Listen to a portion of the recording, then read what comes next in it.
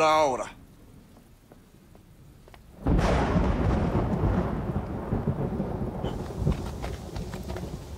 We go after the rebels!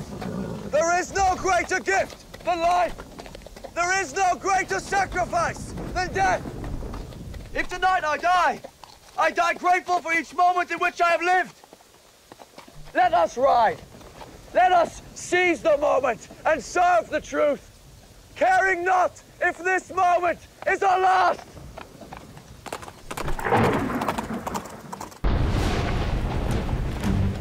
Cesare rode after them, his soul on fire. An evil omen. I am not going into that storm. We must turn back! He was in such a passion that he was unaware the Navarre troops did not follow him. The rain continued, clouding his eyes and weighing his body down. Finally, he came upon the rebels. They had splintered into small bands to avoid detection. Cesare cut them into tiny pieces of flesh and bone, killing ten. Killing 20. Killing 50. Until one struck him with the lance. The lance went in just above the chest armor, piercing Cesare's armpit. You fell on the same broken arm. Yet still Cesare rose and fought.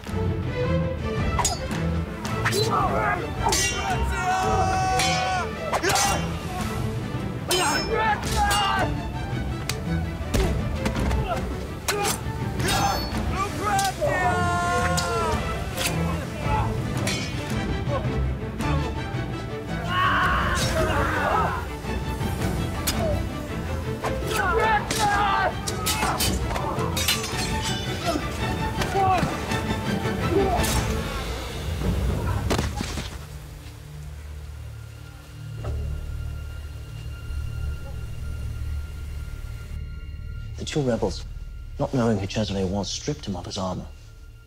They stripped him of every piece of clothing.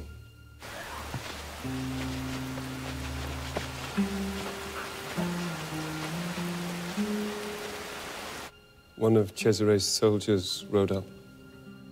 The boy saw his master lying in the mud, face disfigured.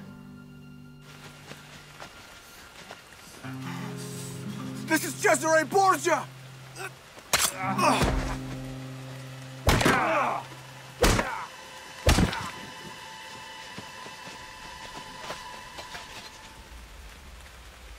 Hours afterwards, some peasants found Cesare bleeding but alive and took him to their hut. His troops found Cesare on the soaked soil a short time later. He laid there in the rain throughout the night, unclaimed. Until?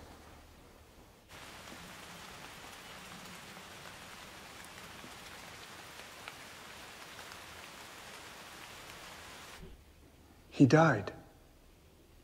Cesare Borgia is dead.